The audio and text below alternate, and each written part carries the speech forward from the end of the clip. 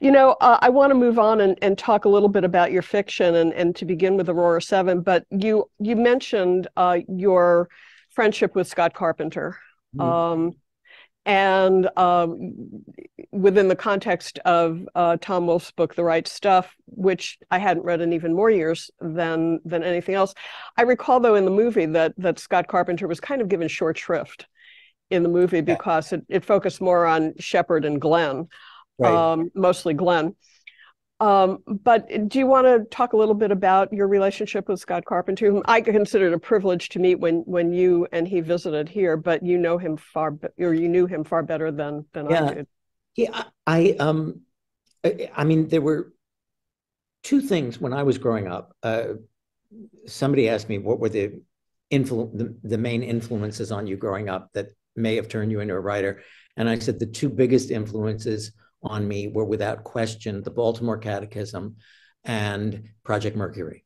Uh, and they, they were related in a way because the, the catechism was all about uh, what was above you and uh, how to get to heaven. And um, Project Mercury was about taking the first steps, literally, uh, toward a kind of heaven. So I, um, I knew all, you know, uh, of the seven astronauts, uh, not just by name. I knew their biographies. I knew everything. And Carpenter was um, uh, you know, uh, to me, a great hero. They, he was the most, he was he was the handsomest of the seven. His mm-hmm. wife Rene was the most beautiful of uh, the astronaut wives, uh, and uh, they were real glamour figures. And the flight was very perilous.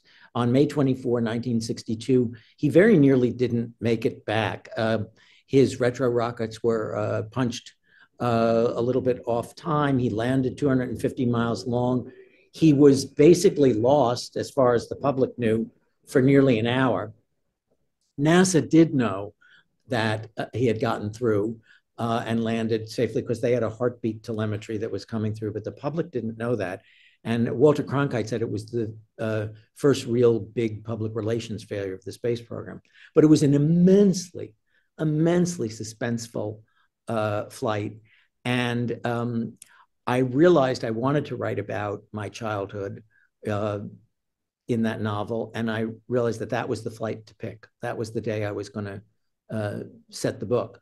And, um, and the novel on the ground follows the flight transcript, and there are all these sort of spooky, mysterious connections between what's going on. But I never met Scott uh, until after the book came out because I um, was I didn't really need him. I wasn't going to go into his head. Um, I did talk to Rene, uh, his first wife, before the book came out, but I decided not to uh, try to talk to him uh, as I remember, because I thought, what if he throws cold water on this? You know, says I'm interested in the history of this because the flight was controversial. Mm-hmm. Who fault, so forth. And so I just waited, and then I sent him the book uh, after it was out, and uh, he responded with a beautiful letter. And uh, I then uh, was working at GQ in those days, and I went out and I did a, a, feature on him, short feature, and that was the first time I met him in the early 90s.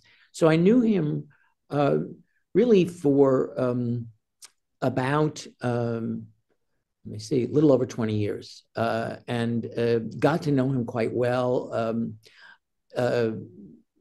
separately and together got to know uh, Rene Carpenter very well, uh, and Kris Stoever, his daughter, who wrote with him his own memoirs. Uh, she and her husband are very close friends of ours, and um, so um, he was very different from the other seven astronauts. Tom Wolfe captures this a lot, and one of the reasons he does capture it is Tom Wolfe got some of the very best things in the right stuff from Rene Carpenter who by the time she talked to him was divorced from Scott, but Rene was a pistol. She had a wonderful memory. She was a tremendous storyteller, uh, quite a good writer. And she uh, recollected things for him in a very lively way. And um, he was always very grateful to her for that. And uh, Scott was more, uh, you know, the others were all interested in the science and the engineering of it. And Scott was, uh, I mean, I, I should narrow that. the other, the original seven, they were mostly interested in the engineering of it. Mhm. Uh, science, insofar as science applied to flight dynamics, they were not interested in what we would call space science. He was, you know, he wanted um, uh, to know uh, what this was going to tell us about the universe, and he uh, he spent more time looking out the window of the capsule than any of the others did, and uh, he was a quiet uh, he, he was interested in things. He, he would say things like, I want you to explain the poetry in the New Yorker to me. Because I don't, I don't really grasp a lot of these poems, and uh, I cannot imagine uh, the other six, any of them, even John Glenn, you know, being interested in those things. And um, he was an aquanaut. He actually had a, probably a more path-breaking career uh, in underwater exploration after mm-hmm. Project Mercury than um, he did in the space program itself. He had only the one flight. Uh, Christopher Kraft, who was the director of flight, was determined he wouldn't fly again because uh, Kraft uh, thought that um, uh, you know Carpenter had malfunctioned rather than the equipment. People still argue about that to this day. But um, but it was a great um, it, it was a a great honor to have that friendship. I uh, always enjoyed seeing him, and um, uh, it, it, was so um, you know key uh, to my life that uh, when he passed in 2013, you know, it really felt like, well, that's my childhood is really over uh, now that I'm in my 60s.